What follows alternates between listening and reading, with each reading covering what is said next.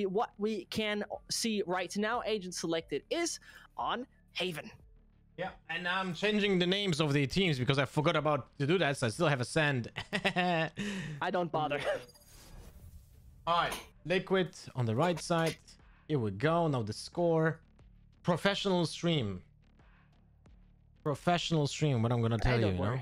Don't worry. It's it's no big deal. I mean, the combination we see right here coming out of them, very classic, very simple. Um, a thing that I very much found exceptionally interesting when we take a look at this combination and take a look at what we have experienced so far is that um, I unfortunately am not too satisfied with uh, Jamppi uh, overall because I genuinely think and very honestly believe that it he is not there where he should be. A Jett that is on an average of something of 214 ACS is that really the Jett you're looking for? Yeah, you know what's funny? Because when it comes to Jetts, they can have high ACS, but they don't have as much impact. Like, but the thing is, Scream is here on Phoenix, right? And Jamppi can just be the player that is not really playing a duelist. He's, his job is not to create space because there's Scream to do that. Otherwise, if you're playing one duelist, you have to be essentially cNed uh, to do his job properly. So, uh, uh, but I do agree, Jamppi might just not have enough playtime yet in Valorant, so we'll see how that goes in the future. But hey, we're just jumping into round one, and we're gonna see Yep. Liquid on attack. Liquid on attack uh, on Haven. Yep. Now, for now, they have just have a default setup. Not much happening. No first push anywhere. Hmm. Yeah, Yampi definitely saw that. And man's with the frenzy. Obviously, go kill can just dash into your face, and therefore, those 14 bullets in the mag of the fully automatic pistol are very valuable. And Ori is just holding the crossfire here together with Eddie, who still could flash his opponents twice, but they enter, and that is going to be a push by the book here, Lothar. Here's the first one, Frenzy go kill. Frenzy does kill! And Jamppi starts off like that. What a double kill from Jamppi. We were just talking about how he doesn't have to create space, but yet in the pistol round, he went nuts, and this scream goes in. Beautiful stuff. No real challenge, it seems to be for Liquid. That's the pistol round going their way, and the pistol round on Haven is usually something that we see, you know, actually not so successful for them, I have to say. You know, when you take a look at the recent statistics, only mm-hmm. 46% of their pistol round go their way. And, you know, that's not a lot. Obviously, a weaker team than usual, not tier 1 opposition. Yet again, it was just pretty much about a book.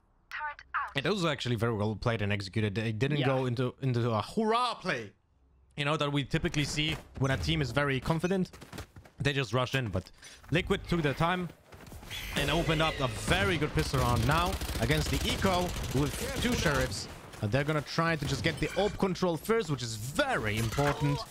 Boom. So Kaz with the kill through the smoke, but I wanted to touch since you know this round is more of like a throwaway unless Big Fizz gets a headshot. Let's give him some time. Sash, take it over, please. Yeah, surely we'll do so. And as they right now try to enter that side, oof, he didn't expect that little Tasmanian Tiger to bite him, and he pretty much bite him in the bum. It doesn't change the matter of fact that Ike is still around.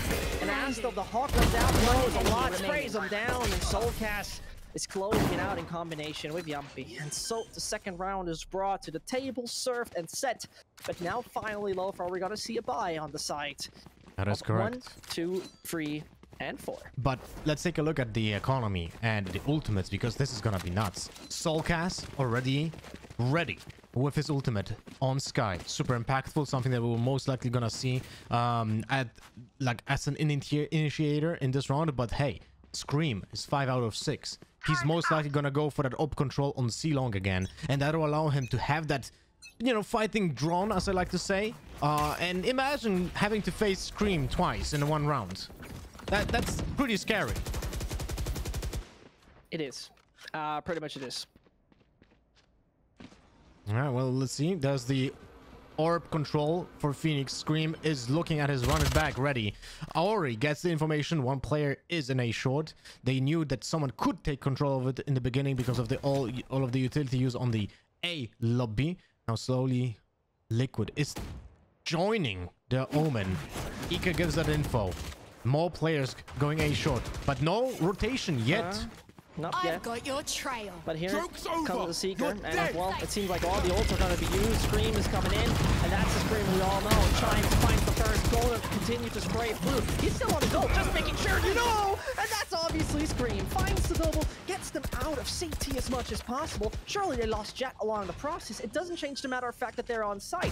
Though Big Fizz is hungry and pretty much aware of what's up, they still gotta make sure that they maintain control over this site. Remain calm, close those gates, close those doors, and so they will most likely gravitate to a third, as though they very much are aware of that Omen. The CT players also gotta put right now in consideration, but Soul Case is on it, and the Soul Cast and squad is One pretty enemy much looking for the win. Yeah, like they finish it off smarter like that. This was so well played by Liquid. You know, I, I don't want to sound biased because obviously there's one team that is very known and has some strong old names like Scream and Jamppi in the team.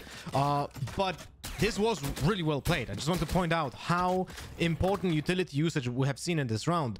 The combination of the Seekers and the run it back just gives so much space and control of A side. Yeah, and Yeah. Scream can be fearless. When he was playing on Reyna or on Jett, he still has to have this, um, you know, um, uh, image of him dying, right? If he pushes too much. When he's playing with run it back, he just goes in. You could have seen that. He ran out of ammo, no problem. I'm just switching to classic and jumping, jumping forward. It's nuts. There you go. And Scream is now two out of six, and he can still take the orb, so he will be three out of six. Actually, Soulcas is picking it up, so he's I three out this of six. They're gonna build up the ults ready for the next full buy from uh, one, two, three, four. And this is something that is so important. They're just gonna punish one, two, three all the time. Yeah. Look, I mean, look at it. It's it's by the book, really. You you open up the chapter number 17 of how do I properly play Haven with this kind of setup, and you will pretty much just watch this VOD and be like, yeah, I mean, that seems to work. That seems to be the coordination you're looking for. Adrian trying to show his best Cherith play as he starts off quite good on screen. That's pretty much where the chapter ends. Yeah, and we're in a very similar spot uh, as round three. So round five will be very similar. Soulcas, we're gonna go for an op control. Scream is at four out of six, so he's gonna be almost ready with run it back. But the Seekers, it's something, and you can see already where Soulcas is moving towards that C long for the orb, right? He's gonna go for it. He wants to pick up that ultimate as soon as possible, and this will be the initiator again. Because of that, one, two, three can actually think about maybe challenging that long C. But this is only the omen. So uh, Big Fizz trying to move towards Cubby, I think. There you go. I, I mean, I, I really, ha- I really have to ask myself: Do you think dashing in your opponent like this is paying off against Liquid? Talking about it, Oh, Ari wow. and Big Okay. Fizz. Okay. Okay, Uh, I respect that. Yeah. That's a Still. Big double kill from a Sova ultimate. Are you kidding me? That doesn't happen often. To get a double kill with one Sova ultimate. Yeah, baiting out utility though there for kill with with Killjoy, Cover going out. and they can isolate it to some degree. I mean, the site itself is absolutely clear. Absolutely every angle is going to remain empty, and as Ori is Shut down. getting ready, it's Shut uh, down. too old of a trick, isn't it? It's not going to be that easy, and so Spike hits ground just a few centimeters under heaven. Recalling my bot. And as they move closely towards the site, only the Omen ult would be there from one, two, three, four. Nobody's flanking, no one from short, no one from long. And that means two choke points that could become very uncomfortable any second soon. Link is spotted. Yep, that's problematic. Link is about to kill a standing. few. Yep, that's nice. It doesn't change the matter of fact that only Kryptix has to turn this one around. The man has found his next. He's ordered a meal, but he's getting a feast. And that is the triple. my That's bringing them the stop in the fifth. They remain fearless and strong. Cryptic so far with zero deaths in five rounds. He's clutching that round impactful. Super impactful win of the round because, you know, first of all, most one, two, three, four actually showed promise in this round. They got the initial three kills, and it was uh, three versus two, if I'm not mistaken. Um, so that was a big chance for a retake. But it seems like they were just lacking the utility. Aftershock was used under under hell, but the code, like let's say, there was no coordination in the retake because there was no trade set up to get those players at the same time. Now, they're being stopped by Eddie, but Eddie with 1 HP, he's gonna have Ridiculous. a tough situation to handle here. 149 damage.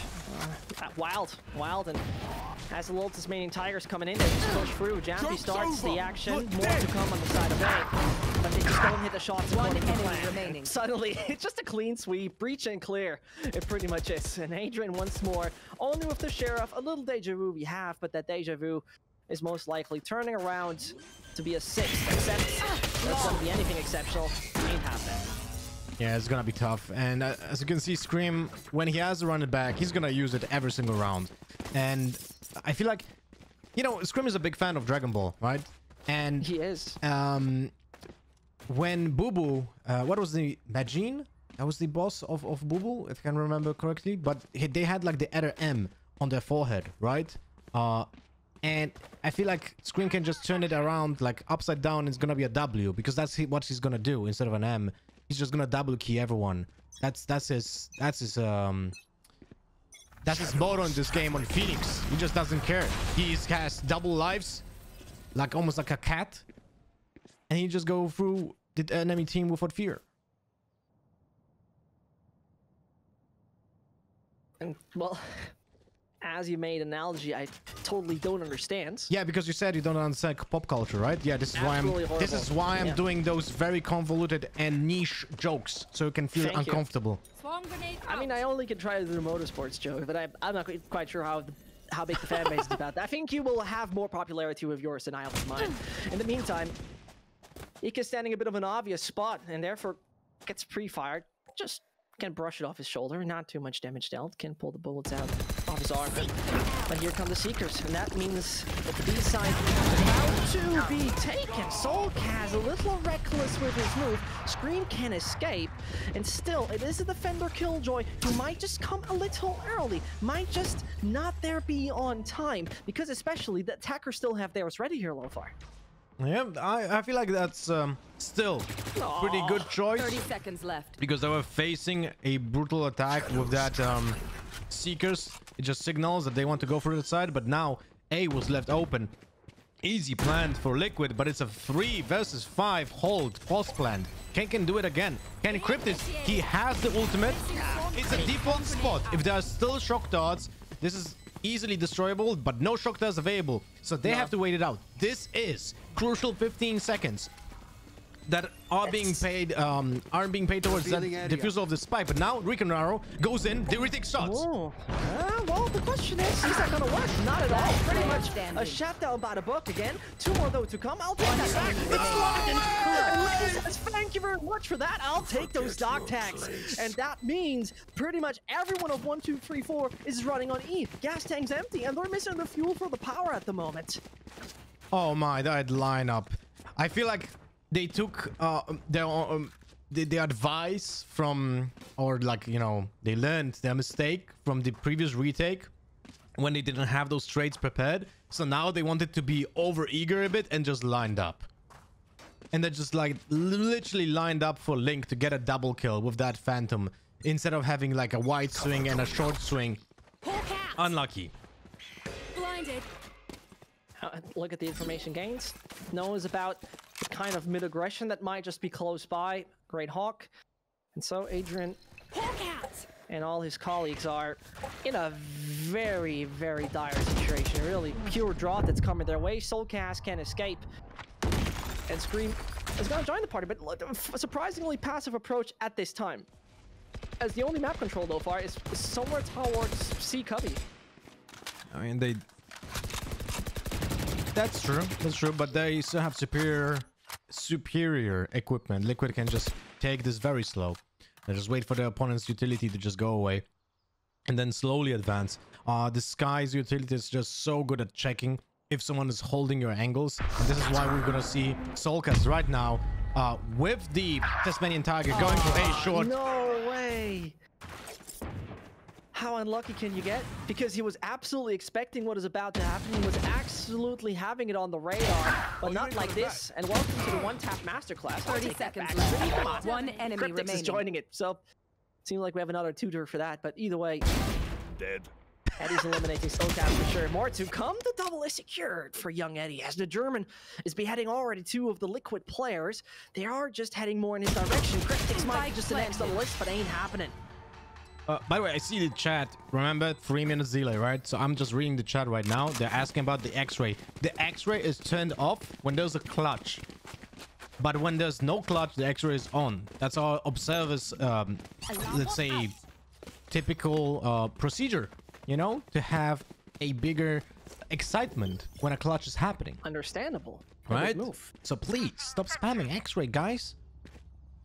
This is What a mean they don't artistic choice. Time for a field test. What are you talking about? They don't see the same as we do. You're nuts, man. I always have the same vision like here in ranked games.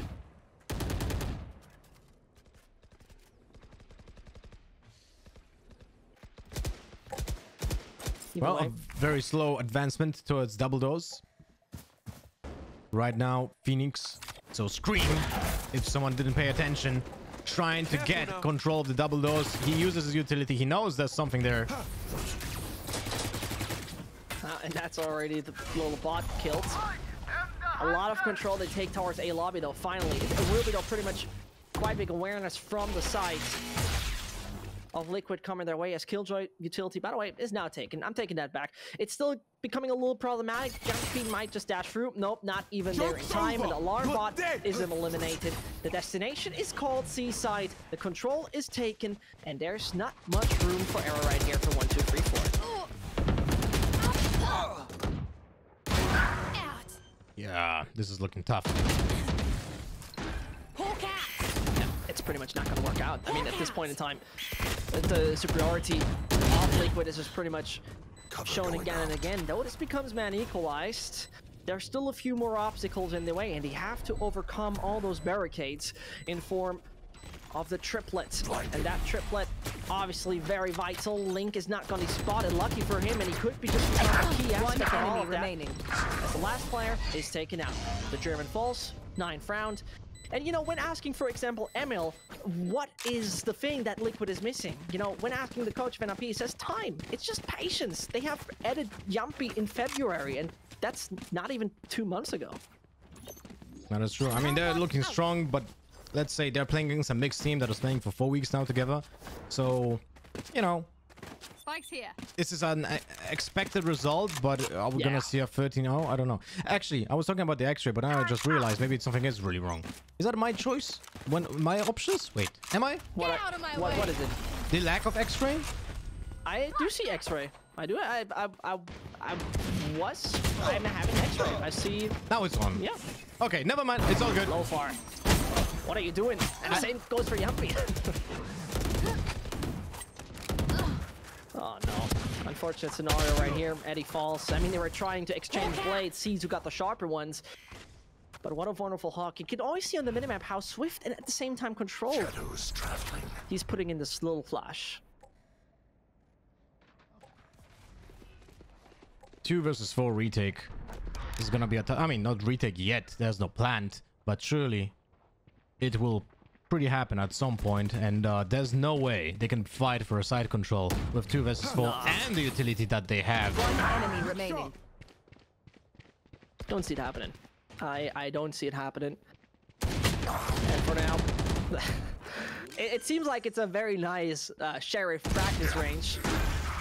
But other than that, it's a clear, clear sweep from Team Liquid. It couldn't be easier for them at that point.